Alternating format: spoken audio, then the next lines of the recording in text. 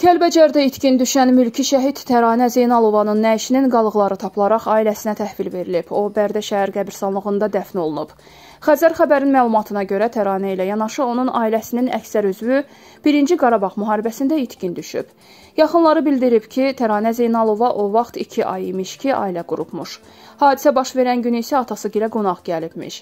1993-cü il martın 31-də təhlükə yarananda qohumları onu da götürüb Kəlbəcəri tərk etmək istəyiblər.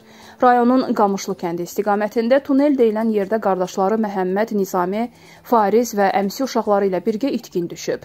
Hələlik həmin itkinlərdən sadəcə Təranə Zeynalovanın qalıqları Laçının Malıbay kəndi istiqamətində tapılaraq ailəsinə təhvil verilib. Qeyd edək ki, Təranə Davud qızı Zeynalova 1970-ci ildə Kəlbəcərdə anadan olub.